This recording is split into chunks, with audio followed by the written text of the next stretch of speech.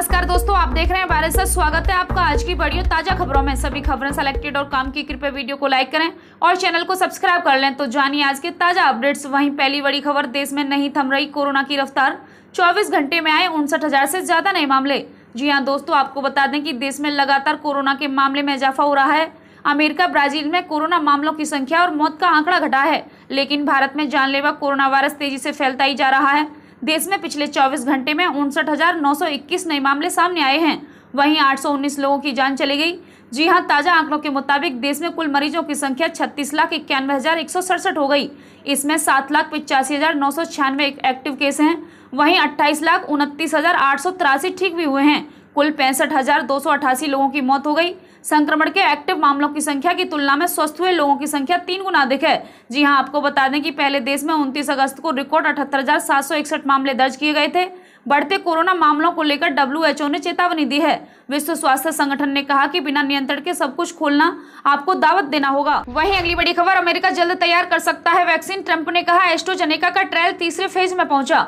जी हाँ दोस्तों, आपको बता दें कि कोरोना वायरस से जंग के बीच अमेरिका से अच्छी खबर आई है। अमेरिकी कंपनी एस्ट्रोजेनेका द्वारा तैयार की जा रही कोविड 19 की वैक्सीन का क्लिनिकल ट्रायल फ़ेज़ थ्री में पहुँच चुका है। सब कुछ ठीक रहा तो इस अमेरिकी वैक्सीन से कोरोना को हराने में सफलता मिल सकती है। जी हाँ दोस्तों, आपको बता दें कि ऑक्सफोर्ड विश्वविद्यालय के शोधकर्ताओं और फाइजर के साथ मिलकर वैक्सीन तैयार कर रही एस्ट्रोजेनेका ने कहा कि फ़ेज़ थ्री के ट्रायल में अमेरिका में लगभग तीस वॉलेंटियरों को शामिल किया गया है। कंपनी के बयान के बाद अमेरिकी राष्ट्रपति डोनाल्ड ट्रंप ने कहा, यह बताते हुए मुझे खुशी हो रही है कि एस्ट्रोजेनेका की वैक्सीन फ़ेज़ थ्री के ट्रायल में पहुँच चुकी है। यह वैक्सीन उन लोगों की कतार में है जो बनने के काफ़ी करीब हैं, जिसे लोग असंभव मान रहे थे। हमने वो अमेरिका ने कर दिखाया है। वहीं अगली बड़ी खबर, यूपी में तैतालीस करोड़ रुपए की परियोजनाओं का लोकार्पण करेंगे नितिन गडकरी। सीएम योगी रहेंगे मौजूद। जी हाँ दोस्तों, आपको बता दें कि केंद्रीय सड़क परिवहन राजमार्ग मंत्री नितिन गडकरी मंगलवार को उत्तर प्रदेश में तैतालीस करोड़ रुपए की परियोजनाओं का लोकार्पण वर्चुअल तरीके से करेंगे। वीडियो कॉन्फ्रेंसिंग के ज़रिए लोकार्पण का कार्यक्रम होगा।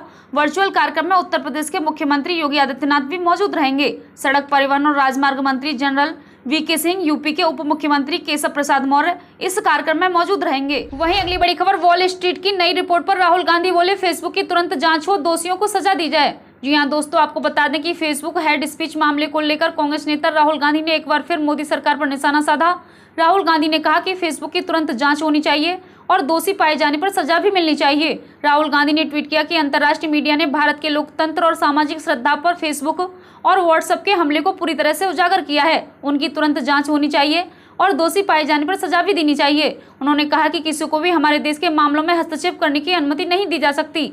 जी हाँ दोस्तों, आपको बता दें कि दरअसल अमेरिकी अखबार वॉल स्ट्रीट जर्नल में एक ताज़ा रिपोर्ट में दावा किया गया, जब चुनावों में कांग्रेस की हार हुई थी तो भारत में फेसबुक के एक शीर्ष पदाधिकारी ने आंतरिक कार्यालय संवाद में प्रधानमंत्री नरेंद्र मोदी की खूब तारीफ़ की थी। उन्होंने कहा था कि यह तीस साल की कड़ी मेहनत का परिणाम है। फेसबुक पर इस नए खुलासे पर कांग्रेस ने पूर्व अध्यक्ष राहुल गांधी ने भी प्रतिक्रिया दी है। बता दें कि अमेरिकी अखबार वॉल स्ट्रीट जर्नल के एक ताज़ा रिपोर्ट में कहा गया कि इसके मुताबिक जब प्रधानमंत्री मोदी सत्ता में आए थे और कांग्रेस पार्टी की करारी हार हुई थी, उस वक्त कंपनी की बड़ी अधिकारी ने आंतरिक कार्यालय संवाद में प्रधानमंत्री मोदी की जमकर तारीफ़ की थी। रिपोर्ट के अनुसार इस अधिकारी ने कहा था कि पीएम मोदी का सत्ता में आना तीस साल की कड़ी मेहनत का परिणाम है। कांग्रेस नेता राहुल गांधी ने इसी रिपोर्ट को लेकर सरकार पर हमला किया है। वहीं अगली बड़ी खबर, टेलीकॉम कंपनियों को बड़ी राहत, एजीआर देनदारी चुकाने के लिए सुप्रीम कोर्ट ने दिया दस साल का समय। जी हाँ दोस्तों, आपको बता दें कि सुप्रीम कोर्ट ने आज टेलीकॉम कंपनियों को बड़ी राहत दी है। टेलीकॉम कंपनियों पर एडजस्ट ग्रॉस रेवेन्यू की करीब डेढ़ लाख करोड़ रुपए की देनदारी के मामले में सुप्रीम कोर्ट ने टेलीकॉम कंपनियों को 10 साल का वक्त दे दिया है। जी हाँ दोस्तों, आपको बता दें कि एजीआर भुगतान के लिए मांग रही कंपनियों को सुप्रीम कोर्ट ने 10 साल दे दिए। बता दें कि सरकार ने एकमुश्त भुगतान के टेलीकॉम सेक्टर पर बुरे असर को देखते हुए समय देने को सही समय बताया था। वहीं अगली बड़ी खबर, विमान सेवा एक सितंबर से हो जाएँगी महँगी। उड्डयन मंत्रालय ने बढ़ाए शुल्क। जी हाँ दोस्तों, आपको बता दें कि देश भर में विमान सेवा एक सितंबर से महँगी हो जाएँगी। उड्डयन मंत्रालय ने न्यूनतम दस रुपए की बढ़ोतरी कर दी है। इस शुल्क में बढ़ोतरी से अब यात्रियों का किराया भी महँगा हो जाएगा। जानकारी के मुताबिक बढ़ा हुआ शुल्क घरेलू और अंतर्राष्ट्रीय दोनों तरह के यात्रियों से वसूला जाएगा। घरेलू यात्रियों को डेढ़ सौ की बजाय एक सौ साठ चुकाना होगा। वहीं अंतर्राष्ट्रीय यात्रियों को चार पॉइंट पिचासी डॉलर के बदले पाँच पॉइंट दो डॉलर चुकाना होगा। इस शुल्क में अलग अलग एयरलाइंस की गाइडलाइंस और विमानों की संख्या आदि के आधार पर दो से तीन रुपए का अंतर होगा। उदाहरण के लिए इंडिगो के टिकट की ये फ़ीस अभी तक एक सौ सतहत्तर पड़ती थी, जो अब बढ़कर एक सौ नवासी हो जाएगी।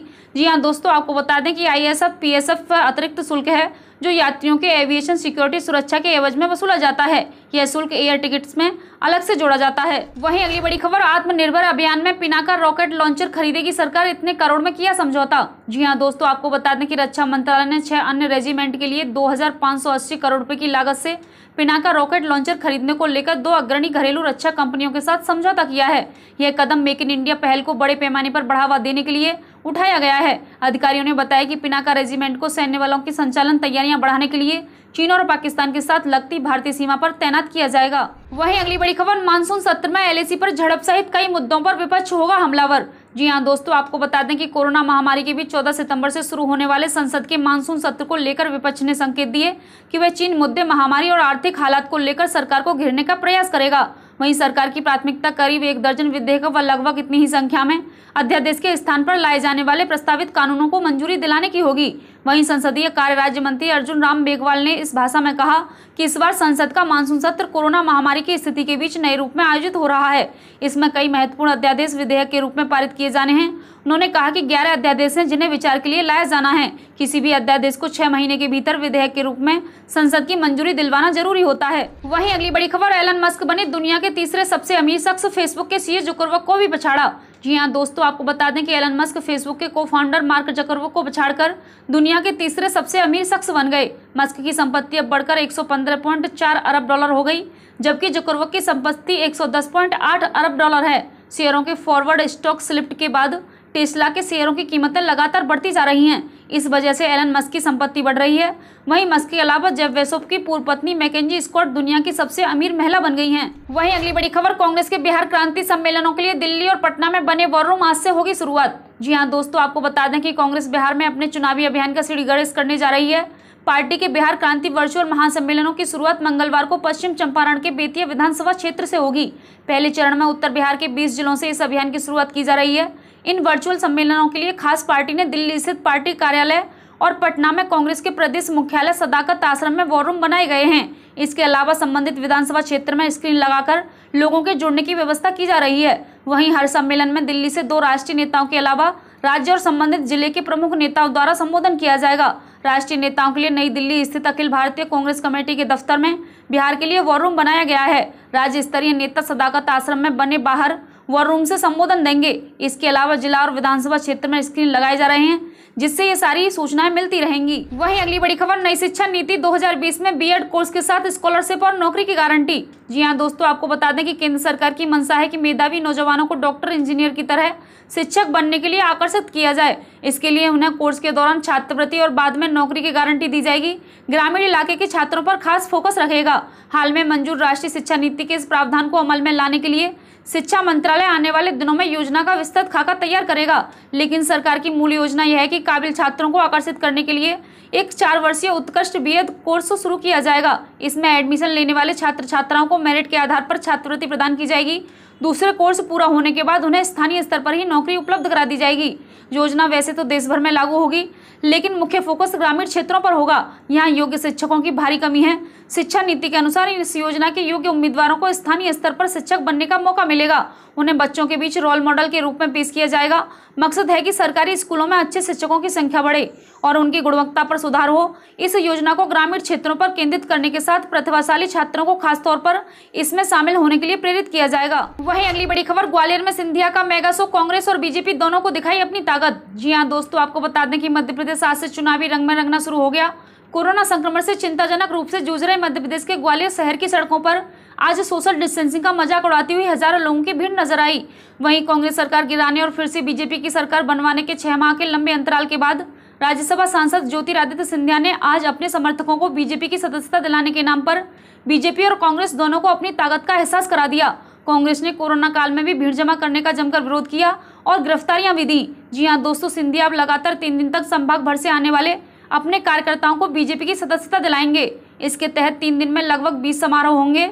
इन आयोजनों में भाग लेने केंद्रीय मंत्री नरेंद्र सिंह तोमर, मुख्यमंत्री शिवराज सिंह बीजेपी के प्रदेश अध्यक्ष बी डी शर्मा ग्वालियर पहुँचे हैं। आज हज़ारों सिंधिया समर्थकों ने बीजेपी की सदस्यता ली है। वहीं बीजेपी में शामिल होने पर पहली बार उन्होंने अपनी मांग में पहुंचकर सिंधिया कांग्रेस और पूर्व मुख्यमंत्री कमलनाथ और दिग्विजय सिंह के प्रति आक्रामक दिखाया। उन्होंने कहा कि संचल ने सर्वाधिक सीटें देकर कमलनाथ को सीएम बनाया था, लेकिन उन्होंने यहाँ कभी शक्ल भी नहीं दिखाई। उनकी सरकार ने गली गली में भ्रष्टाचार बहा दिया। वहीं सिंधिया जी ने कहा कि मैं उस परिवार से हूँ, जो व्यक्तिगत पद के लिए नहीं, बल्कि जनता के मान सम्मान के लिए झंडा और डंडा उठाता है। उन्होंने कहा कि कांग्रेस के समय में दो दो सीएम थे, एक बाहर से, एक अंदर से।